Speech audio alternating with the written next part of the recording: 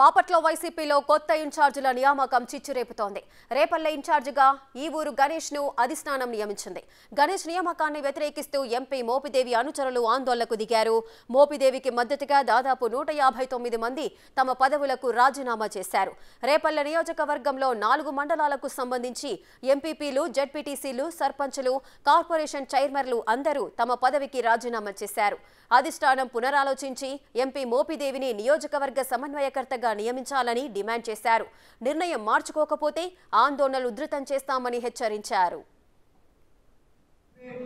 గౌరవనీయులైన ఆంధ్రప్రదేశ్ రాష్ట్ర ముఖ్యమంత్రి వర్యులు మరియు వైఎస్ఆర్ కాంగ్రెస్ పార్టీ అధ్యక్షులు శ్రీ వైఎస్ జగన్మోహన్ రెడ్డి గారి దివ్య సమూహకు బాపట్ల జిల్లా రేపల్లి అసెంబ్లీ నియోజకవర్గ పరిధిలోని రాజ్యసభ సభ్యులు శ్రీ మోపిదేవి వెంకటరమణరావు గారి నాయకత్వంలో గత పద్నాలుగు సంవత్సరాలుగా వైఎస్ఆర్ కాంగ్రెస్ పార్టీలో పనిచేస్తున్న వైఎస్ఆర్ కాంగ్రెస్ పార్టీ నాయకులు కార్యకర్తలు ముఖ్యంగా మోపిదేవి వెంకటరమణ గారి అభిమానులు రాసుకున్న విన్నపములు ఘనమైన అయ్యా గడిచిన పద్నాలుగు సంవత్సరాలుగా శ్రీ మోపిదేవి వెంకటరమణరావు గారి సారథ్యంలో వైఎస్ఆర్ కాంగ్రెస్ పార్టీ తరపున నిజాంపట్నం నగరం చెరుకుపల్లి రేపల్లి రూరల్ మండలాలు మరియు రేపల్లి మున్సిపాలిటీ పరిధిలో పనిచేస్తూ వైఎస్ఆర్ కాంగ్రెస్ పార్టీ అభివృద్ధికి మరియు పార్టీ పరిస్థితి కొరకు అహర్నిశలు సేవ చేస్తున్నాం.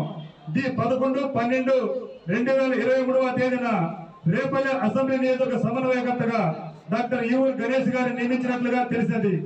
ఇంతకాలం పార్టీకి సేవలు అందించిన శ్రీ మోపిదేవి వెంకటరమణరావు గారిని సమన్వయకర్తగా తొలగించి కొత్తగా వారికి సమన్వయకర్తగా నియమించడం మాకు చాలా బాధాకరంగా ఉన్నది. నాలుగు పర్యాయ కౌన్సిల్ గెలిచి ఈ సందర్భంలో వైస్ చైర్మన్ మరి వారికి ముప్పై ఐదు సంవత్సరాల నుంచి రాజకీయ జీవితంలో ఉండి ప్రజల కొరకే అహర్నిశలు కష్టపడుతున్న మోపిదేవి వెంకటరమణరావు గారిని సేవల్ని గుర్తించకుండా మరి ఎందుకోనో అధిష్టానం వారి స్థానంలో వేరొకరిని సమన్వయకర్తగా మన రేపటి నియోజకవర్గాన్ని నియమించడం చాలా దురదృష్టకరమైన సంఘటన.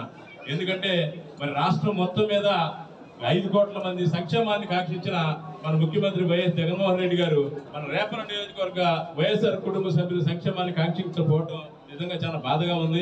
మరి ఇప్పటికైనా వారు పునఃపరిశీలన చేసి మన అందరినీ తరఫున మోపిదేవి వెంకటరామరావు గారు మన రేపల నియోజకవర్గ సమన్వయకర్తగా నియమించాలని మరొకసారి తమను తెలియజేసినటువంటి నిర్ణయాన్ని ఇంకొకసారి రివ్యూ చేసుకోవాలని కూడా వారిని ఘనంగా కోరుకుంటూ దీనికి నిరసనగా ఈరోజు నేను నాతో పాటుగా రేపల మున్సిపల్ కౌన్సిల్ ప్రజలందరూ కూడా చైర్మన్ గారు మరి నాతో పాటు ఉన్న ఇంకొక వైస్ చైర్మన్ గారు మరి మున్సిపల్ కౌన్సిల్ సభ్యులందరూ కూడా కోఆపరేషన్ సభ్యులతో కలిపి అందరూ కూడా ఈ రోజు రాజీనామాని సమర్పిస్తున్నాం.